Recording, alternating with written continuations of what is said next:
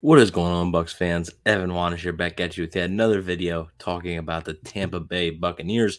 And today we're going to be going over the Wednesday injury report for the Buccaneers before their matchup against the Chicago Bears this Sunday at 1 p.m. Eastern Time, the Buccaneers home opener in that game versus the Bears. So should be a good one. But without further ado, let's get right into this injury report. Now, I will say before we do dive right in, um, it is Wednesday it is early in the week. Some of these guys will their statuses will improve. Doesn't mean all these players are eh, you know in doubt to play or anything. It's just it is notable that they're on the injury report. They have to be on the injury report if they have an injury. You got you got to list it. So the Buccaneers, uh, Carlton Davis was listed with a toe and did not participate in practice. Christian Izien was listed with a concussion, did not participate in practice. Calijah Kancey listed with a calf, did not participate. Todd Bowles did say that Calijah Kancey will be probably day to day.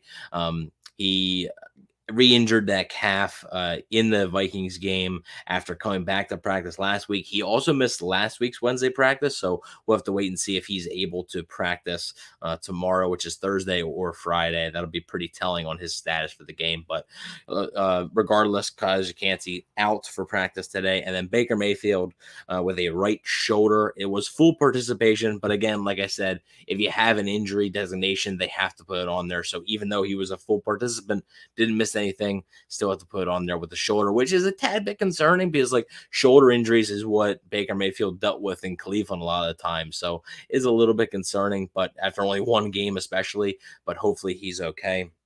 As for the Bears, uh, Josh Blackwell with a hamstring was limited, as well as Dylan Cole with a hamstring was limited, and Kyler Gordon, defensive back, with his hand uh, did not participate. I believe uh, I read somewhere, I think it's a broken hand for, for Kyler Gordon, so um, most likely not going to be playing this Sunday against the Buccaneers. So with that being said, though, taking a look at the Buccaneers injury report, obviously, if all three of those guys on defense, Davis, Izzy, and Kancey, can't go, it's a pretty big blow, especially Davis. I mean, Davis played really well. Izzy was really good too, but Carlton Davis played really well, and their depth at corner, which we've talked about, is not very good. It's very inexperienced, and it's um, it's a significant drop off. It, it, really is a significant drop off from from your starters.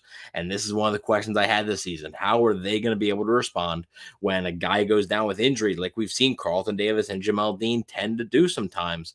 What are they going to do when? Um, how is this these backups going to respond? Right, and I think that's where the Buccaneers could get themselves in some trouble. They are a very thin team. They they just are. There's not a lot of proven depth. You're going to be taking a lot of chances on a lot of inexperienced young players who are most likely going to make a lot of mistakes. So hopefully Carlton Davis can go uh, match up there uh, versus DJ Moore for Chicago. As for Christian Izien, this one's a little bit more up in the air because it's a concussion. And we know the NFL with the concussion protocol, he wasn't, I don't believe he was taken out of the game at all on Sunday. I'm not sure when it came up. Uh, but uh, with the concussion protocol, I would say maybe his status is a little bit more up in the air than a guy like Carlton Davis per se.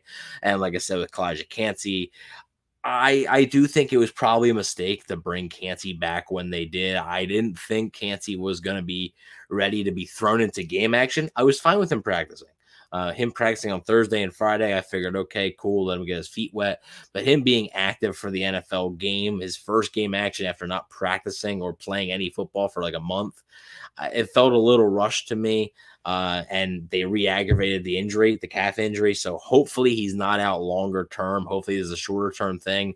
And hopefully they take it more cautious with him this time. So if I had to bet, I, I would say Kancey's probably out uh, for Sunday. Again, this is a Wednesday injury report, so it is very early in the process. But I would say Kancey's probably out. Obviously, Baker's fine.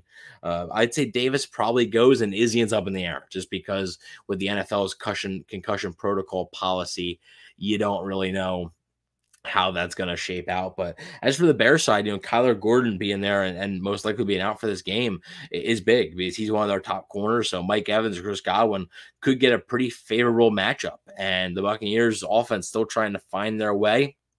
Would be pretty nice if one of those guys could have a big game for the Bucs offense.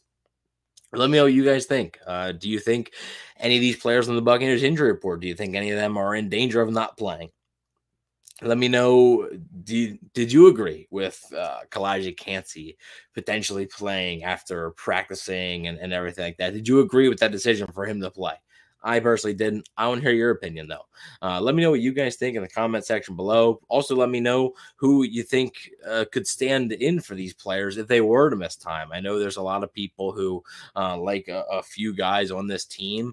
Um, specifically, you know, in, in this in the secondary, guys like Zyon McCollum, I know have been under fire a little bit. Good special teams player though, but we'll have to see. Maybe he gets some time at corner if Carlton Davis does miss some time. But let me know what you guys think. Let me know if you think any of these guys' statuses are in danger. Like I said, it's Wednesday. We'll have another injury report for you guys tomorrow, which is Thursday, and we'll see how it uh, transpires later in the week. So, with that being said, don't forget to like and subscribe and go Bucs.